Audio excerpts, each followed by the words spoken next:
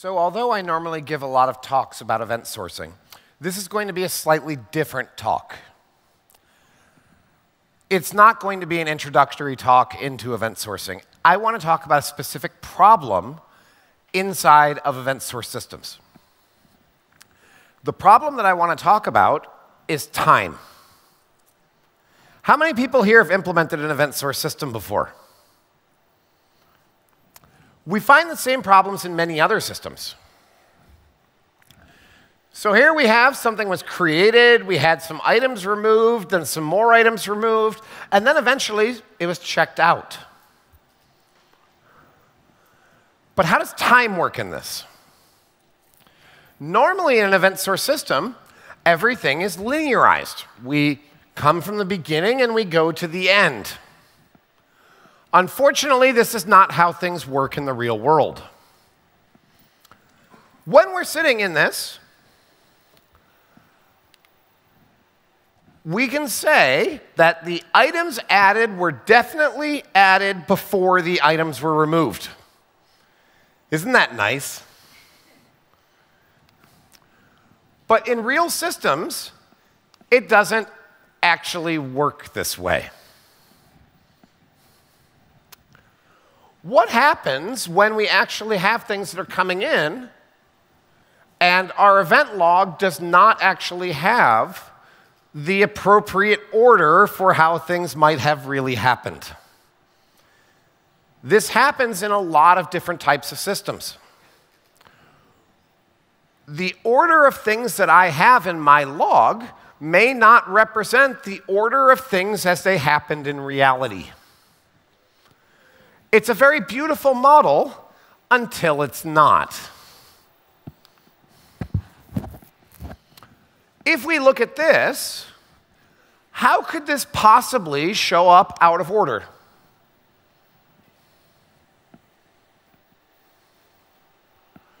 Here we have a created, we have some items added, some items removed, some more items removed, and then we checked out.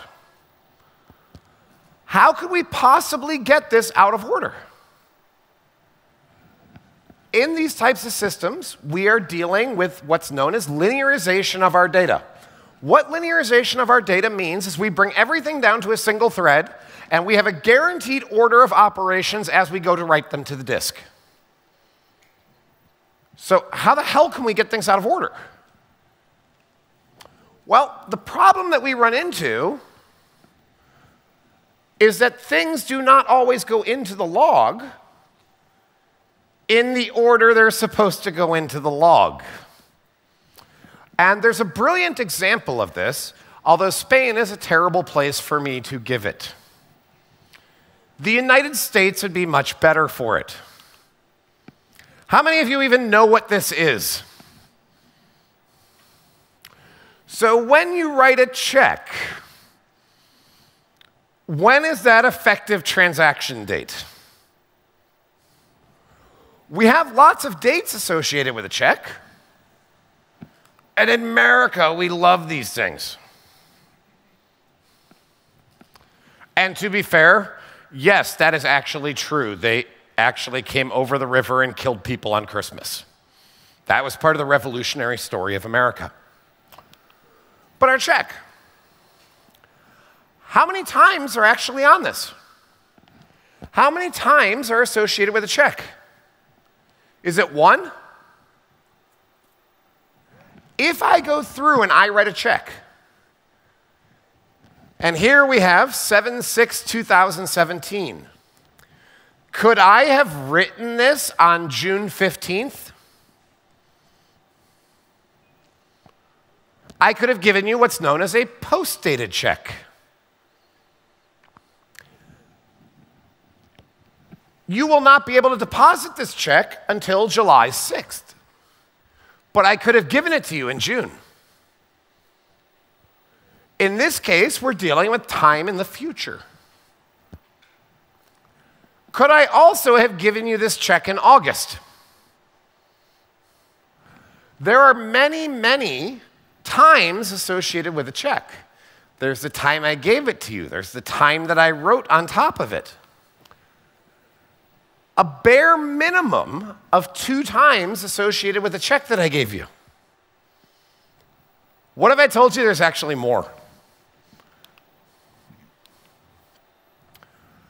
We have the date that I have put on it. That is a time associated with this check, correct?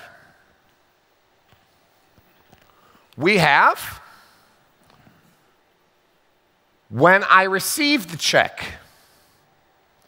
That is a time associated with it. We have when I deposit the check at the bank, this is a time associated with that check. It gets better. We have when the check clears to actually put money into my account, which is a time associated with the check. Now, to be fair, if you go to the US, it's actually more screwed up than this. Because it's not just when the check clears. Normally, when you go and deposit a check, like this one's for $130.45, the bank is actually going to come through and they're going to go, We're going to release the first $100 of it. And then there's going to be another transaction where the next, 35, the next $30.45 actually clears. If you go and deposit a check, the first 100 bucks will clear on the next day. How many of you think this sounds like a sane system? but when we start talking about event sourcing and we start talking about time, this is a beautiful example of it. Because some of our times are in the past, some of our times are now, and some of our times are predicted into the future. We are writing events associated with this check that have multiple times associated with them. And how you look at things varies depending on the dates that you receive.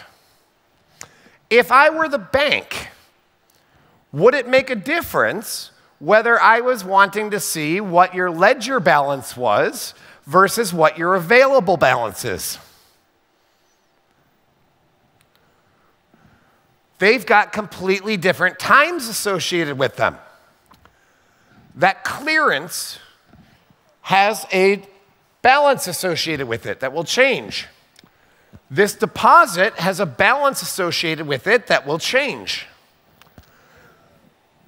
Time is not as easy as people like to think about it as being. Very often, we end up with things that have multiple times associated with them in these types of systems. Some of them can be in the future, some of them might be in the past, some of them might be now. Some of them might not have been scheduled yet. And let's go back. So now I've got my events that I'm going to write to my event log associated with this check. So we have our account was created, and then we have a deposit, type equals check, our date equals this date, the deposit amount is this much. That's pretty clear and stuff, right? Except when does that check clear? Is it when I wrote the event? Or is it at some future point, let's say 24 hours after the event was written? Or does it require another event to be written to represent that it is actually cleared? These sound like small little differences, but they are actually massive differences inside of an event source system. When does this event apply? What about once I've written this? When do my subscribers find out about this? And given that my subscribers have found out about this event, how do they know when it clears? providing they've made some assumption based upon the check that I've deposited that my balance will be in two days $1,000 more than it currently is, what happens if there's a problem clearing that deposit? This is a quintessential example of where we're using time inside of an event source system and it's causing complexity. Time is not always so simple. It's not just that I'm writing down, I have a deposit and this will clear tomorrow, because it may not. How do we represent this to people that are listening to my events? How do I make sense of this inside of my log? Typically, we go back and we look at accounting. And accounting does lots of stuff like this, don't they? So we made a transfer today, but the transfer is effective two days from now. Why? Because that's when the money is actually going to move from account to account. But what if you don't necessarily know when this is going to happen? This can very quickly start becoming problems. I have my created. I have my deposit type, which is a check. I know what my date is going to be that it was deposited on. And I have an expected to clear. But expected to clear is not a guarantee to clear. There is a material difference between those two things while going through and trying to deal with the other bank, well, maybe it doesn't clear. There's lots of reasons why we may not be able to clear this thing.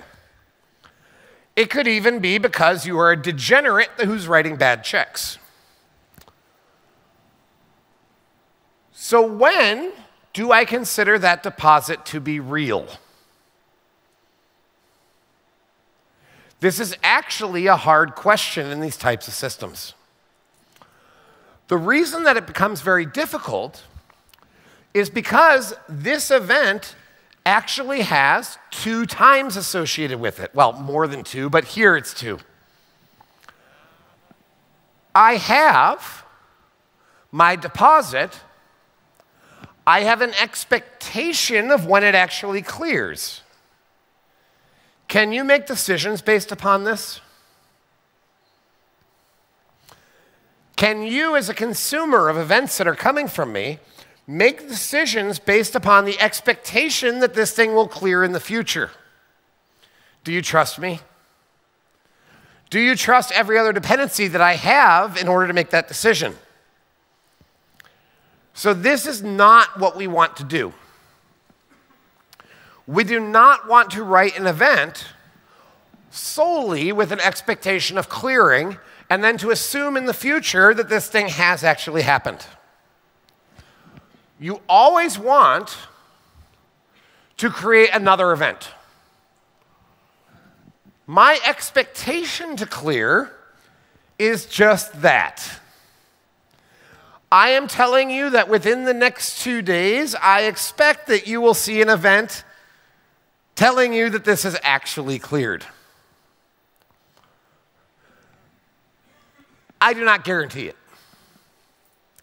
Now, if I've come through, I may realize that my expectation could be wrong. Things happen settling checks. They're not always perfect. And we run into the problem of, well, we expected that this check would clear on Tuesday, and now we found that, well, maybe it won't clear until Thursday. How many of you would consider this a big problem? If you are working in, say, an accounting system, that money will not be here Tuesday, that money will actually show up Thursday even though we have deposited the money already, the settlement of the money does not actually exist yet. And I'm using here checks as the example. What about trades inside of a bank? Normally, we'll have a one to two day settlement period on a trade. How long does this trade actually take to settle? What is the status in the middle during the settlement process? These types of problems are very, very common to find in systems that are dealing with financial transactions. To be fair, a lot of other systems as well, but financial transactions are particularly bad about this. If I run into a case where my expectation needs to change, I've got a big problem. And it's not my problem as the bank, it's everybody else. When I come through and I am not going to be doing my cleared, who else has dependencies upon this? What about wire transfers that were supposed to be going out of that account tomorrow? Should those still go? Well, maybe. And this is very, very common in this type of system. When I start looking at time, my expectations over things can change. What if I were to do it like this? What if I were to write another event that represents the expectation of mine changing so that then you as a downstream consumer can understand that my expectation has changed? That's pretty cool but it doesn't solve everything. What I love about this example is it's so simple, and at the same time, you immediately go rolling off into vast amounts of complexity with it. This is why Europe doesn't deal with checks anymore. Checks are a pain in the ass. So now our clearance expectation is no longer that this should clear tomorrow, it is now that it should clear next Tuesday. Therefore, everybody down the line now knows that this money should not be expected to be available tomorrow, it should be expected to be available next Tuesday. By the way, can we have more than one of these? Yeah, they kind of happen. Oh, one of the best ones. What if you didn't happen to sign your name just the way people like it on your check? Another three business days. What's being offered here is something in the future. What I'm looking at is trying to figure out what my expectations are, whether or not I know about all of my expectations in this particular case, and what their probability of actually materializing is. normally, when we talk about event source systems, we have this happened, then this happened, then this happened, then this happened. It's nice and easy. Here, we're dealing with expectations of things happening in the future. This is not an event that has actually occurred. This is an event that I believe will occur. And checks are one of the best examples of this. Where the big problem comes in with this is how do I deal with people who are receiving this information from me? I have told you I expect this to clear. But what if it doesn't? How do I notify you about that? What if it's actually post dated as a check? What if it's written as a check for June 17th? Is the expectation the same as if the check is written for today? And these checks are very, very simple examples of this. But very often, when we start looking through these event logs, we start finding vast amounts of complexity associated back to times and orderings of things because I saw them in this order does not mean they existed in this order. It could be that you were telling me something today that actually exists a month from now. Or it could be you're telling me something today that actually really was effective a month earlier.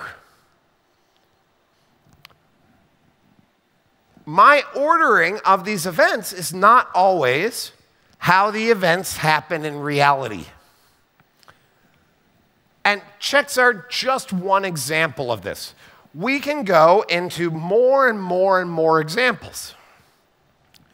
Checks are a particularly good one, well, not so much in Europe because nobody here uses them. Because people in America actually use them every day. So now, what happens if I have a post dated check? You can cash it on September 1st. Everything's great, right? You now know that you have this money which will arrive on September 1st. Well, except maybe that check bounces. So, what you actually have for me is a promise that you will receive some money on September 1st. It's not actually that you will receive money from me on September 1st. So, how do we deal with this check in terms of modeling it? We cannot model it as a financial transaction that will occur on September 1st. What we have is a promise of a transaction that will occur on September 1st. And I'm sorry for taking you all through the intricacies of how checks work. I am quite on the European side of this. We should burn them all. But what if no one ever deposits that check and it never clears? This is a real problem associated with this entire system. Everything that we're dealing with in this system has multiple times associated with everything for when they were effective. What I see in my log as my series of events is not what happened in reality. The ordering can be drastically different than what you find in my log.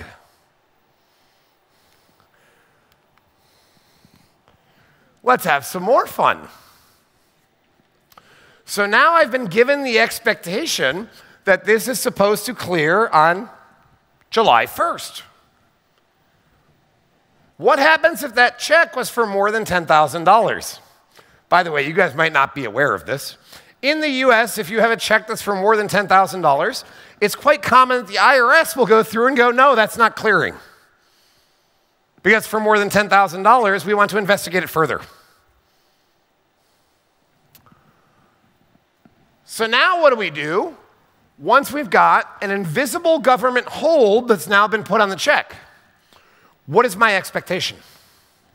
Well, I'm guessing you guys have never really dealt with the US government on this one. It's not good. In fact, you're probably never going to see that check clear.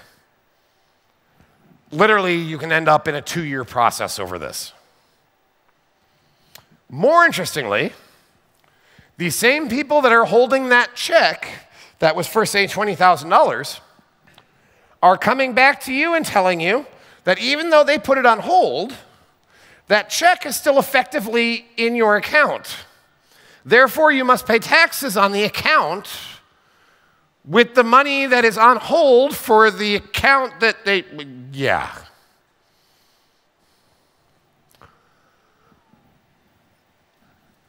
When we start looking at these types of circumstances, we very quickly start devolving into complexity. And we need to represent, we need to understand that event sourcing is focused on linear time. When we are doing event sourcing, we are writing to our log, we are writing our log in a guaranteed ordered way. I can deterministically tell you that these items added happened before these items were removed. But what about that check? what ordering does it get? There are at least four times associated with our check. So, where does it appear in the ordering of things? Event sourcing itself, when we look at things like this, is relatively simple until it's not. When we have things like checks, we have multiple timelines that become associated back to our stream of events. And those timelines can change in the future as well as existing as multiple timelines. These are the hardest problems that you will find in an event source system. What's interesting for me, these are also the most valuable problems you will find applying event sourcing to. Because if you apply event sourcing to this, we have to think in this way. Because I'm now linearizing everything, and I'm having a series of events that are coming through like this, I have to think about this problem in this way. It's not just that somebody's going to go update a database column next month. I need to think about when I write it right now, what does that actually mean? And the differences are quite subtle. Any of these things could be pre or post dated. But even once I get them pre or post dated, they're still at their location within that log. Our log is actually ordered. If you go and work with accountants, you should start seeing these exact types of problems coming up inside of their journals. I am making a payment to him tomorrow, but the money left the account today. Or it could be maybe you're dealing with Russia, in which case it takes like 19 weeks to actually get a, a, a transfer to go through. No, I'm just kidding if there's any Russians. It, it's more like six weeks. Where we're having the issue here is that our events that we're writing down do not necessarily apply at the time that they are being written. They are things that are in the future or in the past. These are all things that have an effective date associated with them, or a hopefully effective date associated with them. We believe within a 90% correct level that this should be cleared by this point in time. Therefore, you should consider it active at this point in time.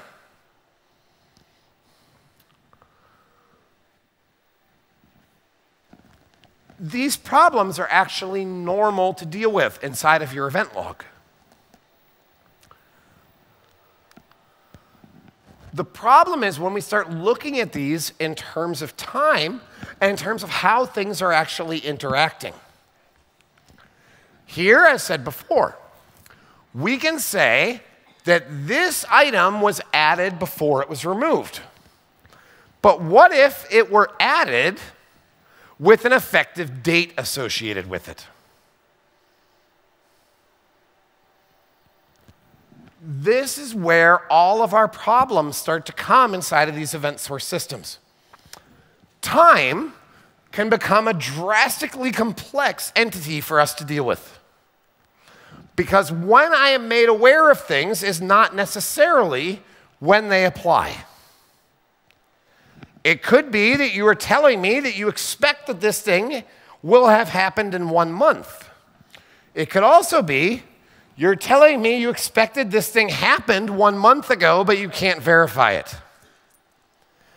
Both of these lead to the same types of problems.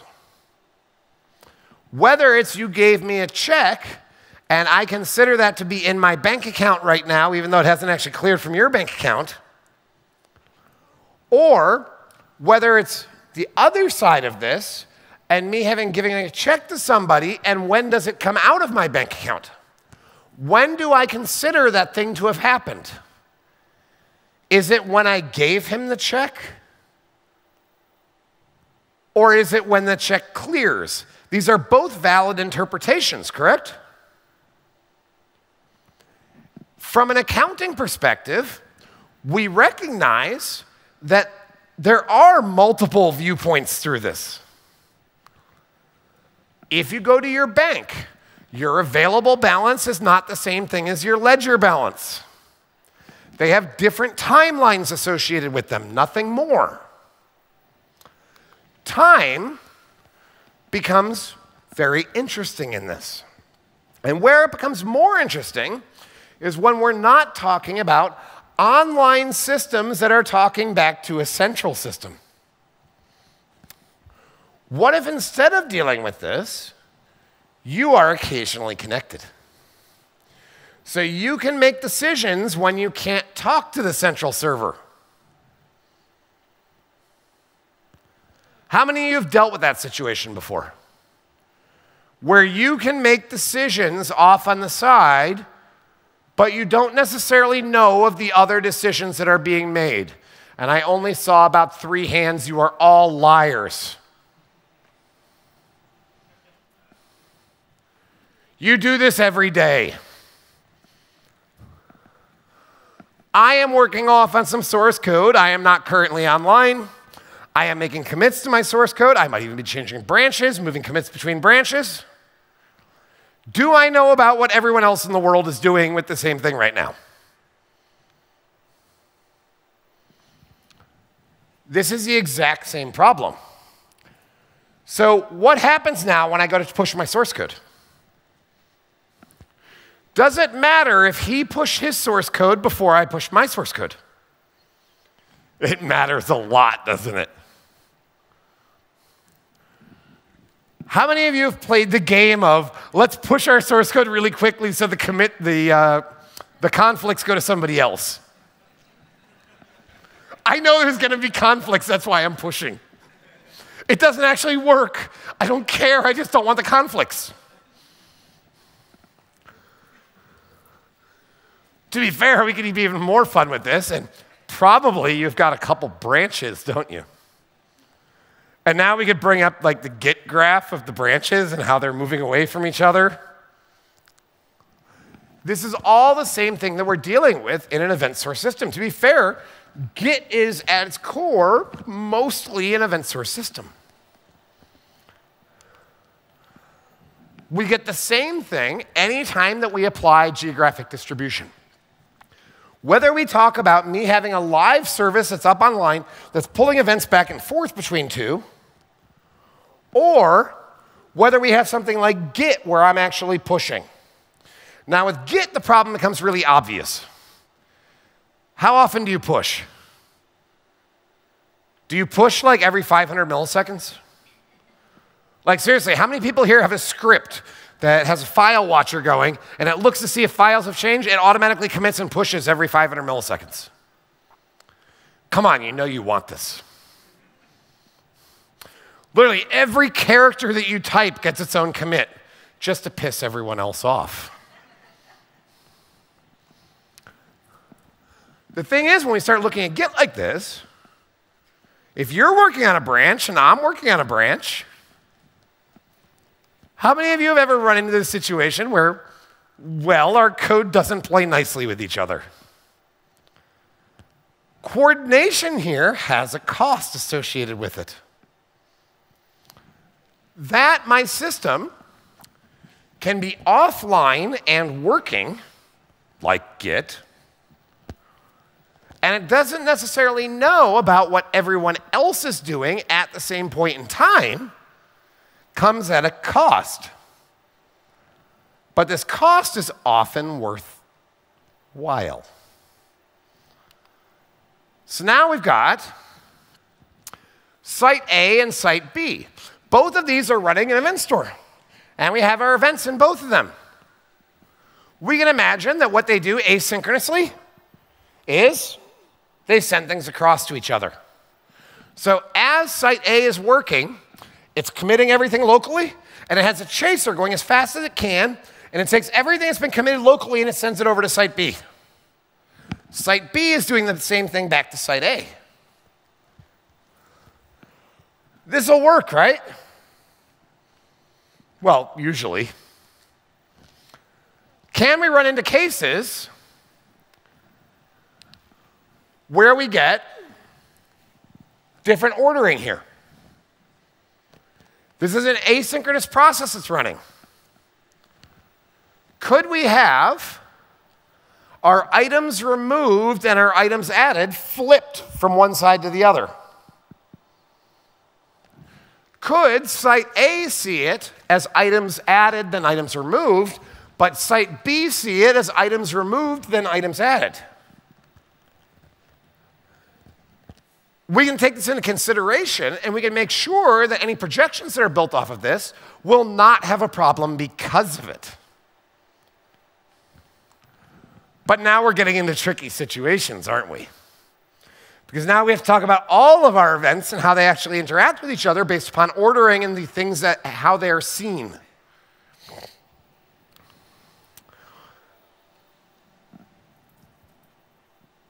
And inside of a single availability zone, we're very unlikely to have these problems. What about when I want to be cross DC? I want to be in many availability zones and data centers. These problems are going to be more likely to happen, yes? If I have two servers that are in the same availability zone, what's the time between them going to be? 100 milliseconds? 200 milliseconds? What if we're going cross DC? This could easily be 10 seconds, 20 seconds, 30 seconds, no? And the further our time gets out, we'll find that we have an exponential curve for how often we actually get conflicts occurring. I can detect these conflicts after the fact. When we get these kinds of issues that are occurring, I can look after the fact and tell you these issues have occurred. I can look after the fact and fix things. Ah.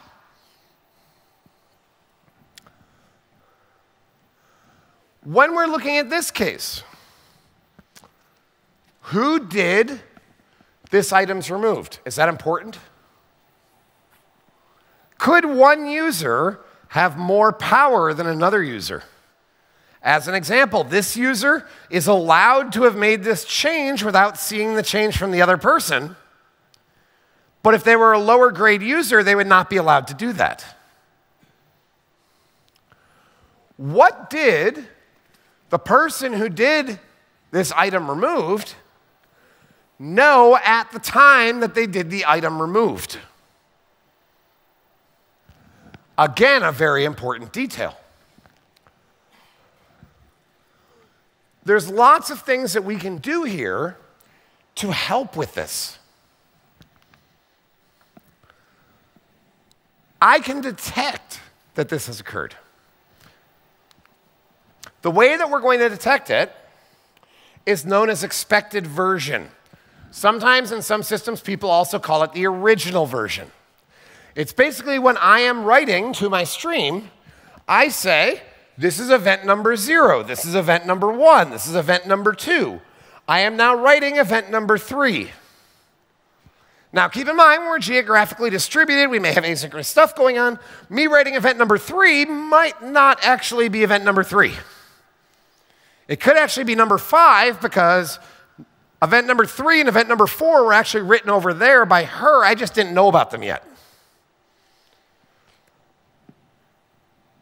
It may even be event number three here, but event number five over there. My expected version, however, if I put it down with my event, would allow me to detect that this has occurred. At the time that I was writing, I expected that this would be number three.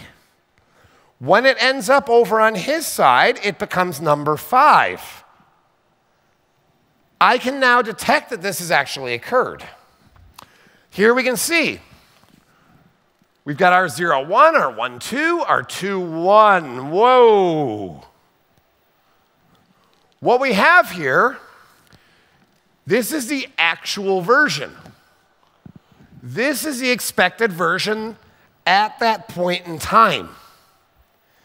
And here we can see that we got some things flipped. How hard would it be to write some code that ran on top of this to show me that we actually had a conflict? Would this be difficult? You can now identify all of the conflicts that have actually occurred here. Now, what those conflicts mean to you, well, that's a whole different story. But I can detect that these things have occurred. You would then be able to look at your information and figure out whether or not these are actually problems. Event Store will actually do this for you. What we can do is we can write the conflict to a stream called dollar sign conflicts, which basically says here that this and this have been determined to be possibly in conflict with each other. So you get a new event out in dollar sign conflict saying, hey, go look at those events because there might possibly be a conflict. What logic you use to do that ain't my problem. It's your problem. But I can generically detect that this has occurred and I can notify you about it.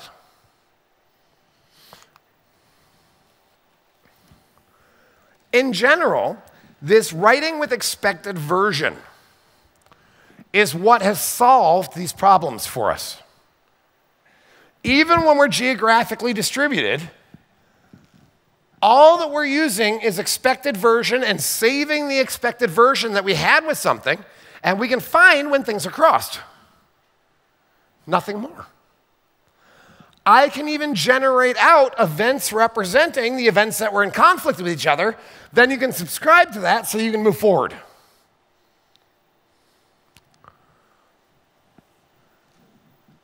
If we're only running in one site, we'll never see this problem.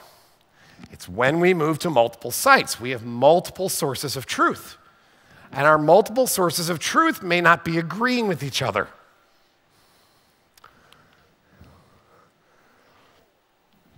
Keep in mind as well that not everything is associated to one time point. Your event will always be associated to one time point. It's the point where it was written. But it's not necessarily effective at that point, time point. It could be effective in the past, or it could be effective in the future. When you start seeing things that are going in the past or things that are going in the future, have your alarms start going off. This is something where complications may be imminent.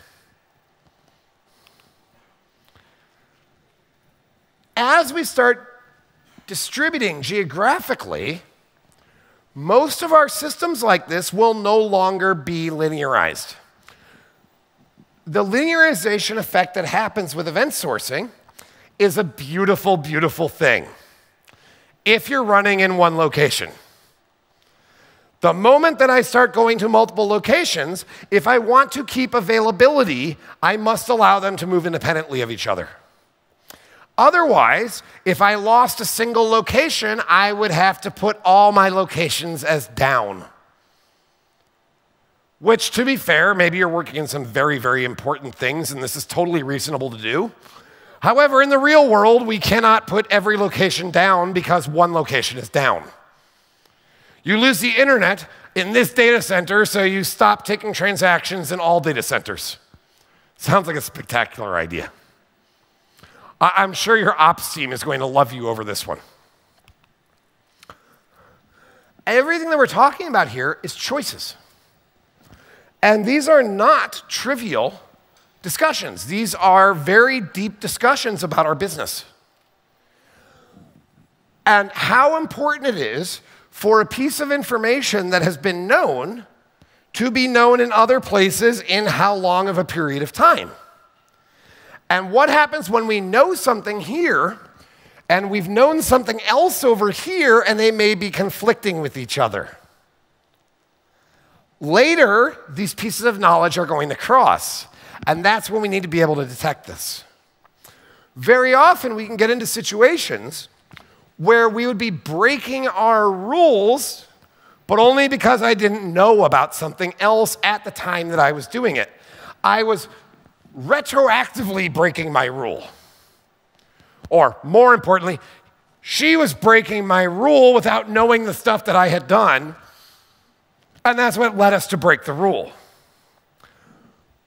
These types of failures, however, are rare. We can detect them, and that's where our focus should be. We should allow these things to happen. Why? Because in order for us to reach a level of coordination to make sure it doesn't happen, introduces downtime. We have availability problems because of this. Instead, we assume that things will work. In the rare case where they're not working, we detect it and we fix it or notify somebody to fix it. Seriously, in some of these cases, you're actually better off just sending an email to somebody. You go deal with this.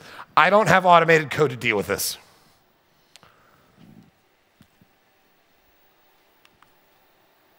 The main thing we need to consider about is what level of safety do you actually need in all of this? How many seconds of data on either side would actually be within your risk profile? Keep in mind, I am allowing multiple data centers around the world to be interacting with the same things without coordination. So if one is down, we don't have a widespread outage. There are times where you may want to escalate the level of safety that you need, and this can be done. We can use as an example a lock server. By default, however, we should be erring towards being lenient on this because we don't want to accept the possibility of downtime associated. And the main thing that we really, really need to focus on is how much are you willing to trade off in order to get this? Every time that you do stuff like this, there is a cost associated with it, both from a systems perspective and from an operational perspective.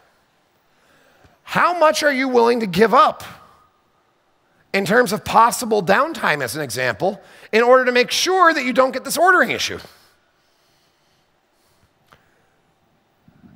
this is one of those foundational things of I can't do both. You are picking one or the other. If you err towards wanting to have this thing actually be consistent, you are giving up something else. Be okay with what else you are actually giving up.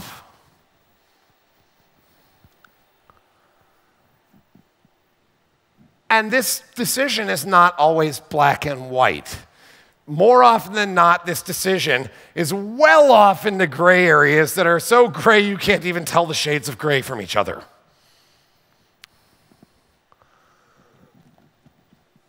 It's very rare that the answers to these questions that we're discussing are yes or no. They are not binary questions. They are well, usually, unless.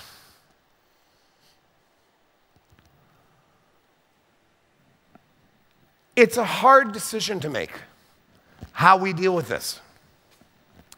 There are multiple paths that we can go down. The overall error should be towards being available here. If we think about the worst cases that can happen, would you rather have me have screwed up a few transactions out of a few thousand, or would you rather have me do none of the few thousand? In other words, I screwed up all of them. I did not allow them to happen. Usually, we should be erring towards a couple screwed up things are totally fine so long as you did all the other things.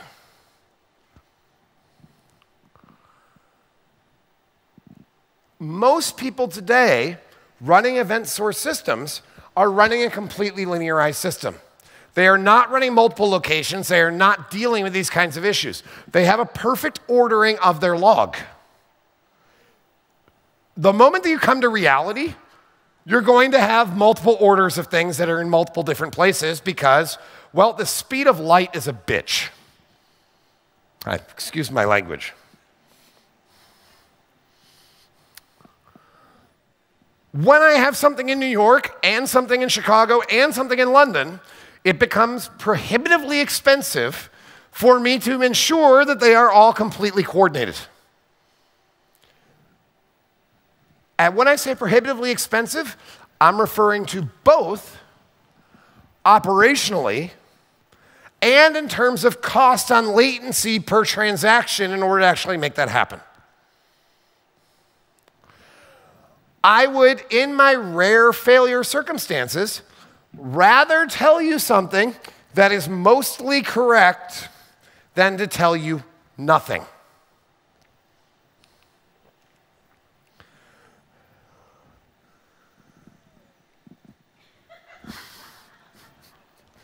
Sorry about that.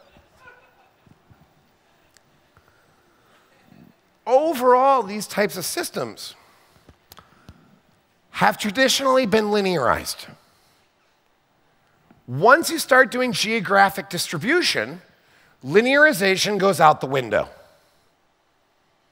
Usually.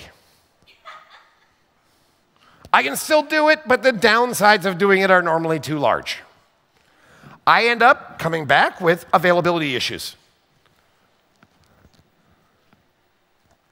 Instead of dealing with availability issues, we have moved our problem, and now we're going to deal with possibly out of order event issues. Which seems more likely to piss your boss off?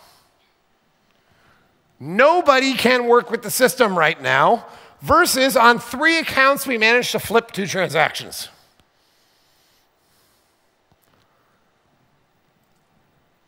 This is the trade off that we're actually sitting in in these kinds of systems.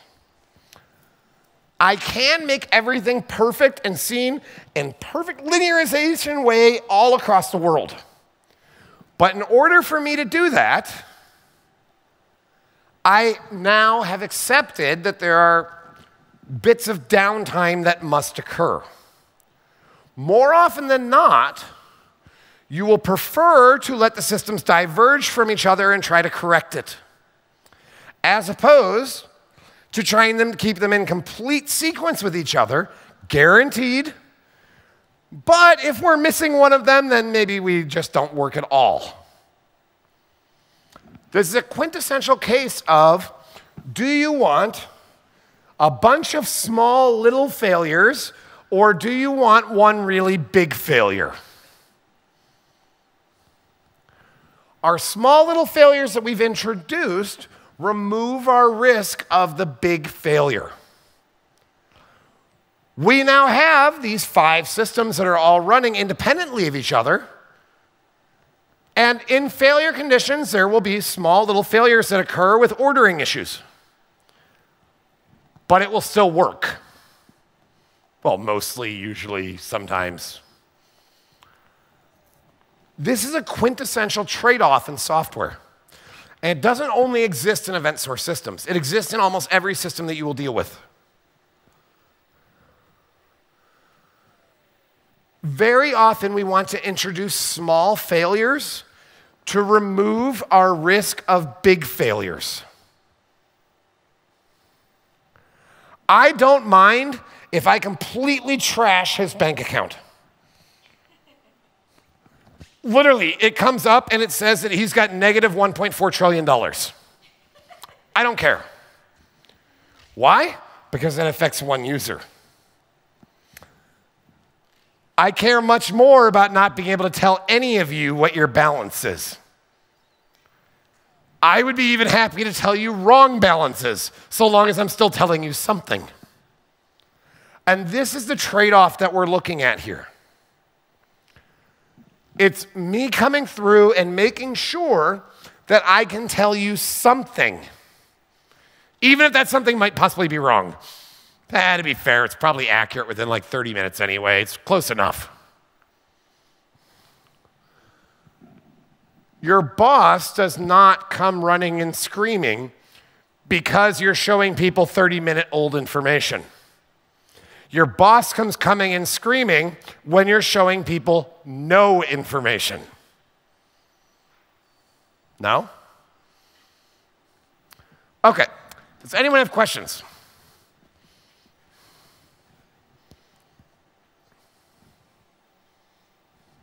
No questions. Okay, we're all free to go. Run away.